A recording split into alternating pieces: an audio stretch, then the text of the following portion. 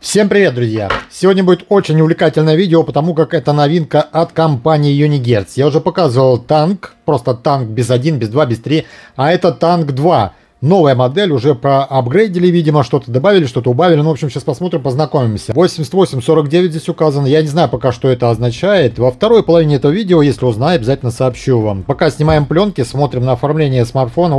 Первое видео с этим смартфоном, я имею в виду с его предшественником, мне набрало что-то более полумиллиона просмотров. Колоссальная цифра. Там огромный фонарь был на задней панели. А, работал как и работал как фонарь, работал в том числе как осветительный прибор для видеозаписи, но правда был небольшой засвет. В этом смартфоне я также все проверю, все вам расскажу, все покажу. А пока распаковка и комплектация. Кстати говоря, стоимость на этот смартфон смотрите по ссылке в описании. Там самая выгодная стоимость, и там лучше всего его покупать. Далее, по ссылке в описании вы найдете телеграм-канал скидки на Алиэкспресс. Также подпишитесь, там публикуются самые интересные новинки, самые лучшие скидки. Опять-таки, подпишитесь по ссылке в описании. Сзади на коробке у нас указаны частичные характеристики. Давайте на них обратим внимание.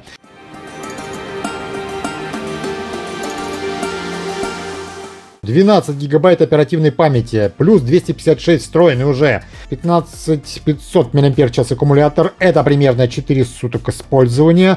Далее 679 э, Full HD+, насколько я помню, 120 Гц, IPS матрица, э, дисплей. Далее, тут не указано, что за процессор, потом узнаю, вам расскажу. Во второй половине также будет тут тест, также будут примеры фото-видео, так что не уходите далеко. 4G поддерживает, NFC есть на борту, GPS, Bluetooth, ну, в общем-то, обычные такие характеристики, хотя NFC есть, это уже хорошо. IP68, 108 мегапикселей основной модуль камеры, 32 мегапикселя у нас фронтальная камера, 64 мегапикселя камера ночного видения и 16 мегапикселей или 15, не пойму, 16 мегапикселей, очень мелкий шрифт, камера широкоугольная, в том числе здесь присутствует. Срезаем пломбы, их тут две, симпатичные. К слову говоря, очень прикольно смотрится коробка. Здесь очертания смартфона указаны. Они так немножко, ну, пальцем, пальцем, ногтями так прослеживаются. Стильно оформлено. Тяжелая коробка, потому как сам смартфон тяжелый. Она очень плотная, не хочет открываться. А ну, давай, вылазь. Также смотрите мои видеоролики ВКонтакте. Будет ссылка в описании. Подписывайтесь, я их там дублирую очень плотно. Подпишитесь, мало ли что, чтобы мы с вами не потерялись. Ух ты, конверт вылетел. Конверт 8849. Что в нем? Давайте посмотрим. Может быть 8000. А... Да нет, тут 8000. Я уже надеялся баксов. Но не положили. Ну, тут краткая характеристика. Обычные бумажки. Сам смартфон, видимо, идет в пакетосе. О, тяжеленький. Пока в сторону. Что это? Провод зарядки и зарядка под низом. Ну, давайте. Упаковка, да, зачетная. Быстрая зарядка у нас на 66 ватт. Белый блок. Вот так вот Type-C на Type-C, как видите, у нас будет провод белого цвета тоже в том числе. Вот он у нас лежит. Да, Type-C на Type-C. Естественно, этим смартфоном можно заряжать другие смартфоны через этот же провод. То есть он выступает у нас в роли в том числе пауэрбанка вашего. Ну, зарядка быстрая, это очень хорошо. С таким-то аккумулятором здоровым она здесь будет не лишней. В принципе, вся комплектация. Теперь переходим к самому интересному, самому аппарату. А ну-ка, а что там еще есть? Что там еще? А, это просто сзади наклейка у нас. То, что я уже перечислил, неинтересно. По краям у нас металлические вставки, как всегда еще на смартфона. Посмотрите сюда, офигеть. Кнопка вот такая красного цвета, я так понимаю. А, у нас две кнопки, да? Две кнопки. То есть одна кнопка может быть фонарем управлять, одна точно программируется, то есть одинарное нажатие, двойное нажатие и длительное удержание, фонарик, скриншот, подводная видеосъемка здесь в том числе есть. Да хоть Call of Duty, хоть PUBG сюда устанавливайте без проблем. Вот это что за две кнопки? Это металлизированные, интересные такие рифленые. Это что здесь, громкость? Сейчас посмотрим. Кнопки эти прожимаются. Ну и брутальные винтики. Далее, по правому боку у нас э, кнопка включения-выключения, она же с кнопочка пальца, металлизированная, и лоточек. Да, это были две кнопки повышения и снижения громкости. Давайте достанем лоток, посмотрим. Надеюсь, я ноготь себе не оторву. Отлично, пошел. Есть резиночка, влагозащита, отлично. Ну и у нас, посмотрите-ка, великолепно. Можно расширить память, и без того здесь огромную, и поставить одновременно две сим-карты в том числе. Камера по центру находится. И, конечно, вот еле-еле заметно, сейчас сфокусируемся, перфорация основного разговорного динамика. На торце еще раз. Яркий, яркий, я не пойму. Я не помню, это, по-моему, даже фонарик очень яркий. Хотя и здесь фонарик. Елки-палки! Это что такое? Охренеть! Раз, два. Две панели, причем одна оранжевая. Ладно, к этому вернемся. А вот это что? А вот это что? Может быть это дальномер, может быть это фонарик. Буду, конечно, разбираться. Походу это видео очень сильно затянется. С этой стороны он что? И капорт, видимо. Очень прикольно смотрится. Давайте добавим еще света, чтобы было хорошо, более ярко. А ну-ка, вот так это выглядит с торца. Ну, надо будет разбираться. Честно говоря, я удивлен. В общем-то, снизу у нас под заглушкой смотрим. Там что у нас? О, 3,5 мини джек есть. Отлично. Ну и Type-C Pro для передачи данных и заряда аккумулятора. Аккумулятор здесь большой. Это микрофон разговорный. А, в принципе, все с этого торца. Далее, здесь проушина. Вешать куда-то на шею, на руку, на рюкзак, на амуницию, пожалуйста. Вот это все у нас холодит руку, металл. Так, перфорация, вот эта перфорация, это что, здесь динамик находится? Судя по всему, да, здесь, видимо, динамик.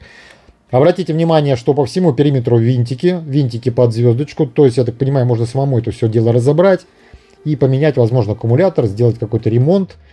В общем-то, отлично. Ну и панели, светодиодные панели, яркие панели, будем проверять. Я пойду на улицу, обязательно постараюсь записать вам видео, как это все будет светить именно на улице. В прошлой версии здесь была одна панель, теперь их две. А, пока не понимаю, почему их две. Один может быть холодный свет, второй теплый свет. Это лишь предположение. Инфракрасные датчики. Сразу раз, два, три, четыре. А, для ночной видеосъемки. И получается у нас три камеры плюс фотоспышка двухтоновая. Все это под стеклом. Все это имеет бортик, чтобы не поцарапалось и не разбилось. Вот для примера Poco X5 Pro. Вот так это все выглядит по размерам. Настолько он выше. Вот настолько он шире. И вот настолько толще. Огромные размеры. Но все же здесь они урезали батарею, потому что в прошлой версии было 22 тысячи мАч аккумулятора, а здесь 15,5. Пока запускаем, смотрим на рамки, потом я удаляю, используюсь им несколько дней. 8849. Что же это означает? Очень интересно, надо будет узнать. Попробую узнать. Бортик есть над дисплеем. Кстати говоря, выступает. Это хорошо, чтобы не царапалось, если класть на вот так вот лицом на стол. А, хорошая должна быть IPS матрица, 120 Гц. Так, Android 13 на борту сразу. Посмотрите, небольшие рамки, ну здесь 6 миллиметров примерно, здесь поменьше. Учитывайте, что дисплей заканчивается вот ровно вот по эту линию очертания. Далее прибавляет рамки еще корпус. То же самое и сверху по краям небольшие. Ну, это для защищенного смартфона очень приемлемые, я бы даже сказал бы, узкие рамки. Двухполосный Wi-Fi он поддерживает. В общем, друзья, я удаляюсь, и для вас это буквально секунда. И снова здравствуйте. До чего ж необычный оказался этот смартфон. Подарил много интересных, очень даже необычных эмоций. И, ну, давайте по порядку. С чего начнем? Так это с названия 8849. На самом деле это суббренд. Суббренд компании Unigertz. Это отдельный бренд. Так и называется. 8849. А может 8849, а может 8849, неважно.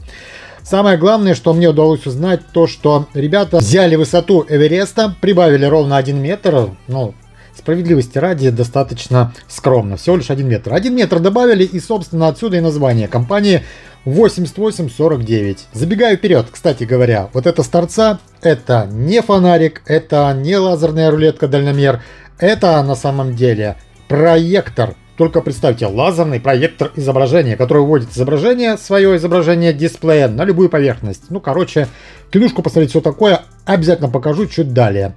Ну, а сейчас мы перейдем к его дисплею который здесь на самом деле очень качественный. Цветопередача, здесь прекрасная детализация, он плавненький, 120 Гц отрабатывает, темная тема, управление жестами, Android 13, все здесь летает, все здесь быстро, и на самом деле его и автономность поражает, на самом деле его и также производительность на уровне, но об этом чуть-чуть еще попозже, давайте все-таки продолжим с дисплеем.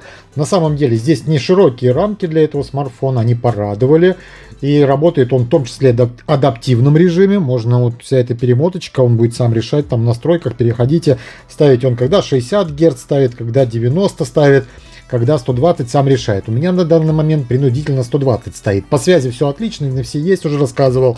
Ну и чтобы не затягивать это видео, давайте сразу по интересным фишкам и проходиться. Я не буду показывать вам, как он тянет игры, просто я вам так скажу. Перейдем в Antutu тест, он набирает 359 тысяч 895 баллов. Это очень хороший результат, но все-таки предсказуемый для процессора Helio G99 от компании MTK. 6 нанометров техпроцесс, 10 касаний поддерживает мультитач.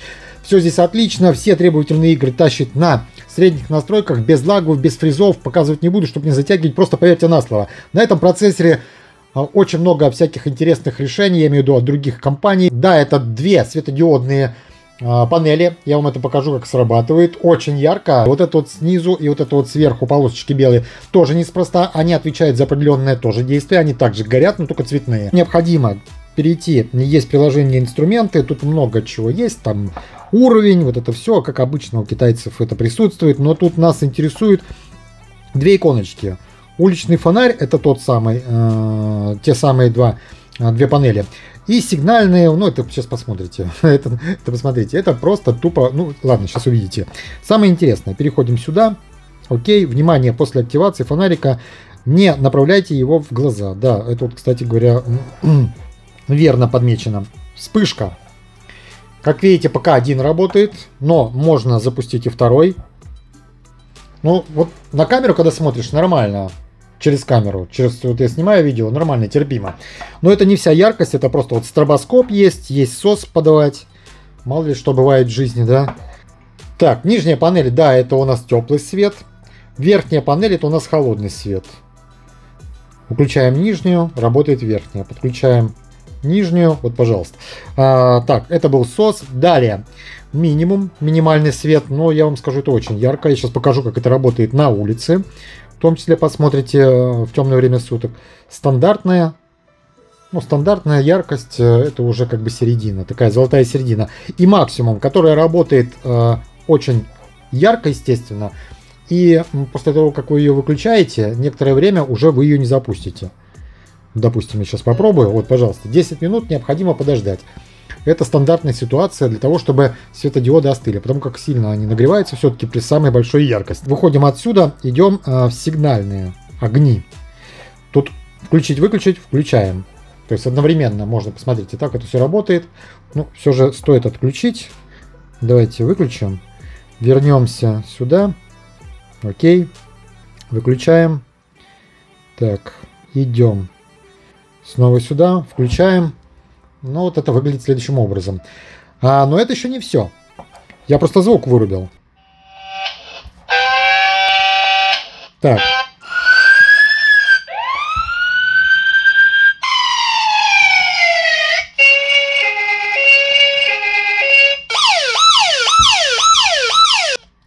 Здесь есть сирена скорой помощи, э, ну, полицейская сирена, есть даже ядреная тревога в том числе. Послушаем.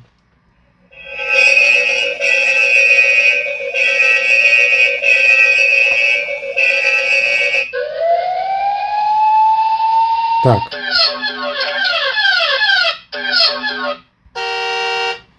Подводная лодка.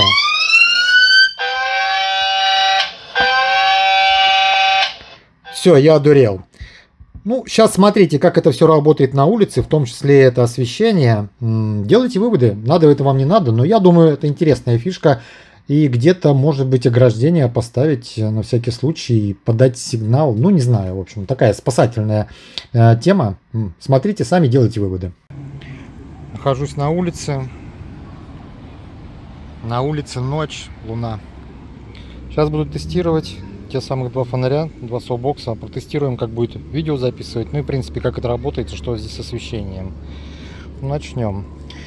Вообще-то у меня это дело все зарегистрировано на красную кнопку, поэтому я сейчас зажимаю и показываю, как освещение. Хотя, для начала посмотрим, для сравнения, как светит обычная фотоспышка, э, такая, как у вас на смартфоне. На мне как раз таки зарегистрирована на другую кнопку, на нижнюю, на двойное нажатие.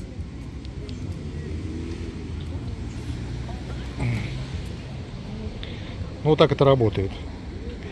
Тут, правда, фонари. На самом деле камера передает более светлую картинку для вас. Ну, для сравнения. Теперь гасим. Ну и включаем, зажимаю, удерживаю, включаем два фонаря. Ну, вот так вот это выглядит. Очень ярко. Тут можно осветить весь двор, можно сказать. Тут красивый рост, давайте покажу.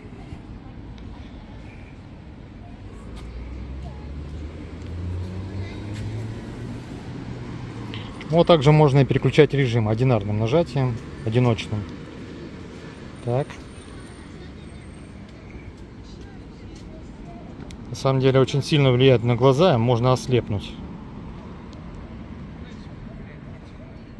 Горят сразу два, и теплый, и холодный.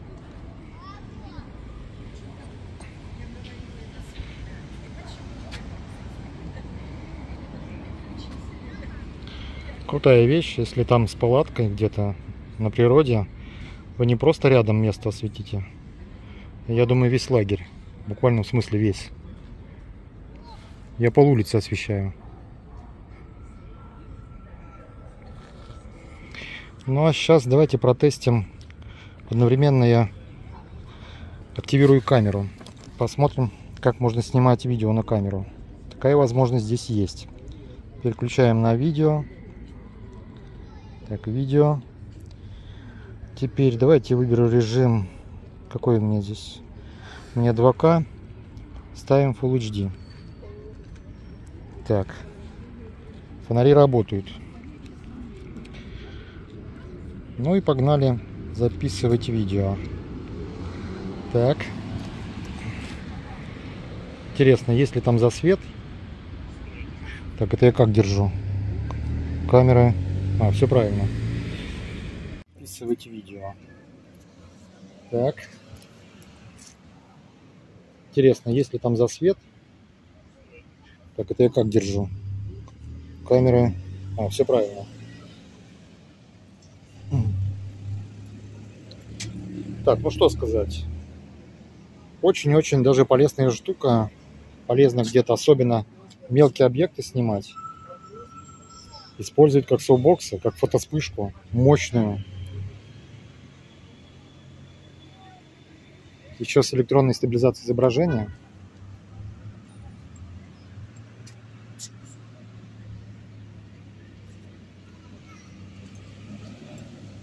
Хорошо снимать мелкие детали.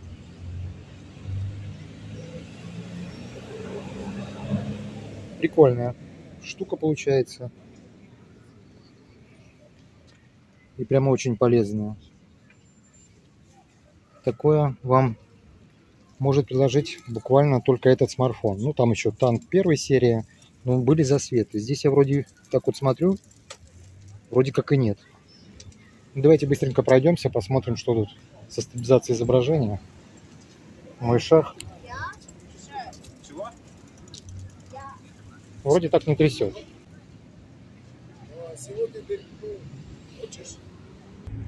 Теперь я хочу попробовать включить. Так, это сначала выключаем подсветку. Идем в настройки. Я хочу активировать. Где настройки? Хочу активировать проектор. Ну и направить просто тупо на тротуарную плитку.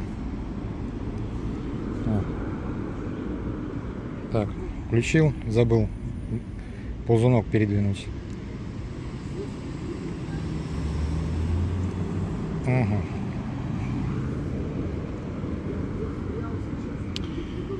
Ну вот, пожалуйста, можно выводить тупо на асфальт.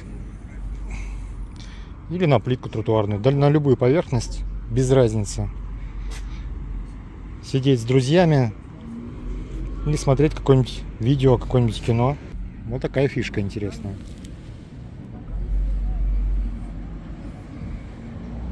Ну, еще покажу дома на потолке.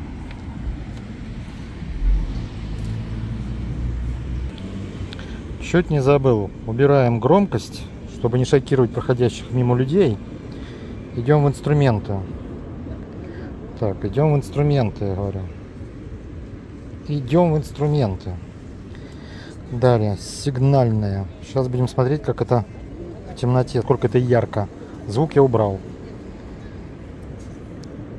Ага. По глазам лупит.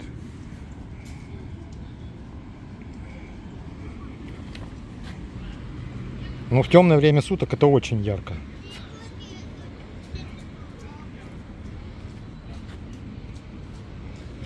Я думаю, будет метров 200 точно видно, а то и за 300.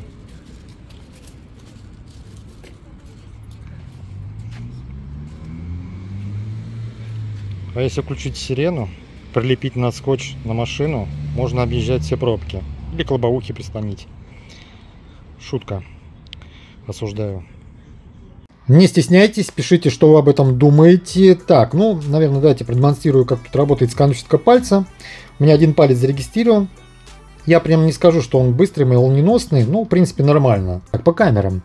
Сейчас вы посмотрите примеры фото-видео. Камера, я вам скажу, слушайте, опять-таки зачетная, с хорошей детализацией, качество мне порадовало. Есть даже, э, ну, в принципе, как он так, давайте, э, как он пишет видео, я все рассказал в самом примере фото-видео. Единственное, что, ну, для начала, смотрите, у нас тут видео есть, фото есть, есть ночной режим, есть тайлапс. Что тут еще? Так, что тут еще? Еще портретный режим, про режим, инфракрасный и сканирование. А, да, точно, инфракрасный. Здесь же черно-белая камера, которая видео снимает э, в полной темноте. При этом, как видео снимает, так и фото. При этом у нас загораются сзади вот так вот 4 э, инфракрасных датчика, красных таких. Почему-то они красные у меня перед глазами и сильно ярко светятся на камеру. А так на самом деле по глазам, на глазах, они достаточно не яркие. Просто красненькие точки, 4 штуки. Но вот камера так передает. В общем, можно снимать видео в полной темноте, при этом не отсвечивая в таком режиме стелса. Надо это вам или надо, это уже решать вам. Но качество и автофокус очень хорошо работает. Тем более разрешение камеры 64 мегапикселя, это более чем достаточно. Это, пожалуй, на данный момент самая интересная камера, начиная за, за свои деньги. Вообще, в принципе, самая интересная за последнее время, которую устанавливали. Но что я хотел вам еще рассказать. А, то, что здесь, э, вот фото переходим, у нас есть ширик. Ширик ничего такой, лупит неплохо. Хороший угол, да. Вот обычная камера. Вот ширик. Так, ну что меня удивило, то ли мне еще совсем сырая прошивка, и надо ждать еще одну прошивку, потому что одна уже была. На видео нету ширика. Я не могу на широкоугольную камеру записывать видео почему-то. Пока что. Ну, может быть поправят, а может так и останется. Не могу точно сказать. Смотрите примеры фото-видео, делайте свои выводы, качество камеры и о звуке.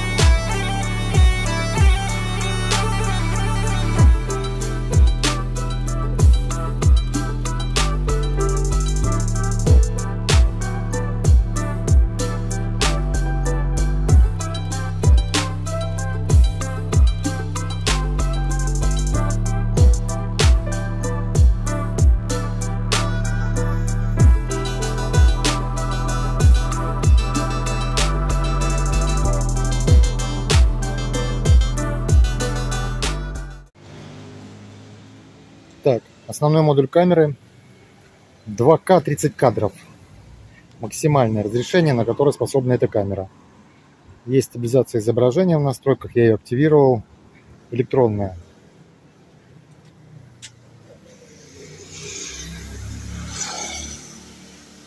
Это самые такие тяжелые условия для камеры, конечно. Но заодно и хороший тест. По поводу фронтальной камеры максимально пишет Full HD. Также есть стабилизация изображения.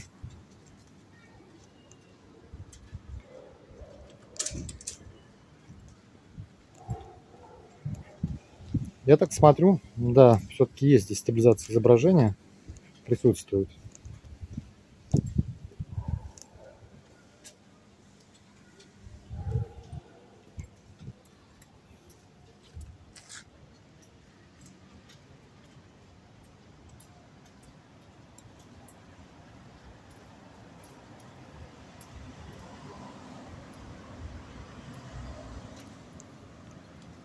Ну так вроде бы ничего.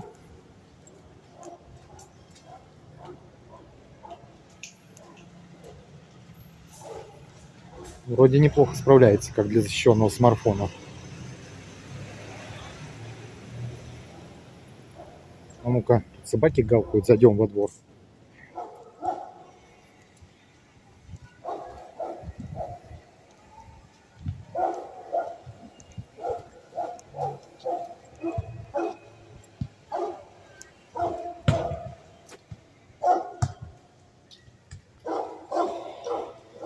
Я думаю, достаточно,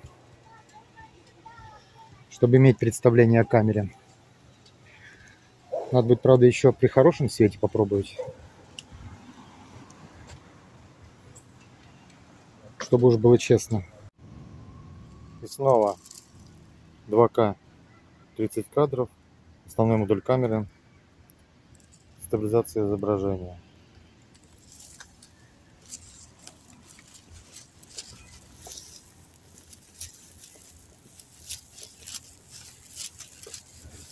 Посмотрим на детализацию.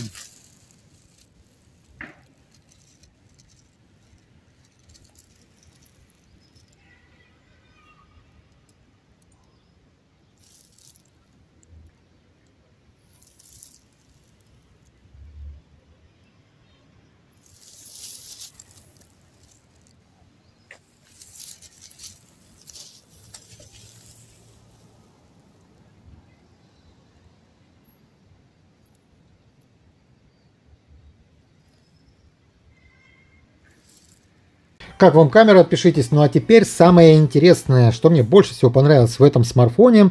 Идем в настройки. Настройки. Чуть ниже спускаемся. Тут написано проектор. Нажимаем. Сейчас важно, здесь появится надпись. Или поставьте на паузу и прочитайте эту надпись. Или просто, может быть, успеете. Ставлю галочку. Так, и смотрите. После того, как проекция откроется, экран останется, э, что там, длинным, ярким не рассмотрел. В общем, проекция запущена. Итак, как же это работает? Да, собственно, вот так. Перед вами. Сейчас я покажу, как это работает уже непосредственно практически в полной темноте. Но можно проектировать, блин, через очки проходит. можно проектировать на любую поверхность. Вот так вот. Смотрите. Кинчик смотреть. При этом работает лазерные. Да, вот лазерные лучи. Они перед вами. Вот на вас кидает изображение. Очень прикольная штука, мне прям зашла. Мне, мне очень понравилось. И на удивление, на удивление, качество изображения э, действительно неплохое. Единственное, что камера, вот именно глаз этого не видит. Посмотрите, что делает. Какой-то, вот я не знаю, иногда какие-то помехи. Камера засекает. На глаз это незаметно. Я это частично рассказал там уже в своем видео. Но вот какие-то иногда бывают помехи чисто на камеру. Глазами вы этого не заметите. Не стал я дожидаться глубокой ночи, просто зашторил окна, закрыл дверь. Но мне еще работает телевизор. Так, ради примера, 55 диагональ, сейчас будем сравнивать. Вот работает тот самый лазерный проектор. Ну и вот он попадает как раз таки на стену. Немножко кровать загораживает. Необходимо сдвинуть. И получается вот такая картинка на обоях. Естественно, надо лучше, ну, лучше смотреть, конечно же, на белом фоне. У меня серые обои. Ну вот 55 диагональ висит телевизор. И вот изображение. Запустим видео.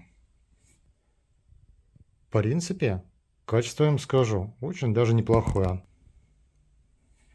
Слушайте, ну ничего так.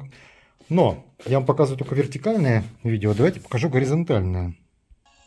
Пример горизонтального видео. Я даже громкость вот для вас.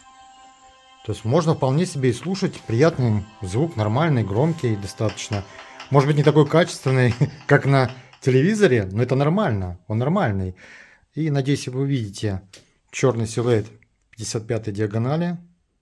Можно растянуть. Но вот все-таки лучше смотреть вот где-то на 40 диагонали, какая там еще 33 диагональ. И, конечно, на белом фоне, опять-таки. Какие-то вот я смотрю камеры, вот когда ты снимаешь видео, камера засекает какие-то помехи, которых нет на самом деле. Такие как Xiaomi, там Samsung, Apple, это все такое совсем другое, абсолютно другое. Таких эмоций они не дают. Они все одинаковые клоны. Кто-то мощнее, кто-то слабее, кто-то лучше фотографирует, кто-то лучше снимает видео. Они все одинаковые. Этот же смартфон дарит очень интересные эмоции. И всех он удивляет, конечно. Всех. Особенно первые сутки, ты когда им пользуешься, ну, эмоции прямо зашкаливают. Это моя люстра. Ну, как вам эта фишка? Понравилась или нет? Посмотрим на звук, послушаем.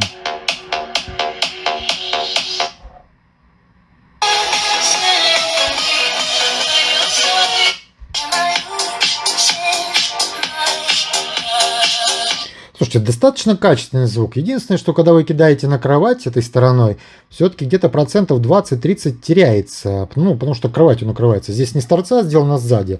Ну, видимо, наверное, ребятам пришлось выкручиваться и как-то там компоновку делать. Ну, как есть. Все же звук неплох. Заканчивая по этому смартфону, что хотелось бы отметить? Ну, наверное, я потушу сначала свет, чтобы было интереснее. Итак, друзья, ну, по недостаткам я не буду придираться, э, он действительно удивил. И все заявленные функции, особенно вот этот проектор, особенно его яркость э, задних панелей, просто удивляет. Поэтому и предъявлять здесь особо и нечего. Ну, абсолютно нечего. Если только... Да нет, не к чему тут придраться, соответственно. Тут еще большой аккумулятор 15 тысяч мАч. Ну, естественно, вам этого должно хватить на много времени, чтобы пользоваться и проектором пользоваться, чтобы пользоваться в том числе э, и другими вещами на этом смартфоне, да и лампочками, которые будут гореть сзади Soulbox яркие, э, в том числе очень-очень долгое время. Это хороший бонус. Плюс там еще быстрая зарядка к нему идет также. Далее, ну, неплохой звук громкий, вы не пропустите тут ничего. В том числе, далее, можно и поиграть на нем. Неплохо он фотографирует, неплохо видео записывает. И заявленная электронная стабилизация здесь есть. В принципе, IP68 дисплей, как по мне, IPS-матрица очень даже хорошего качества. Возможно, я что-то упустил, что-то не показал, что-то недорассказал, но самое основное я постарался вам передать.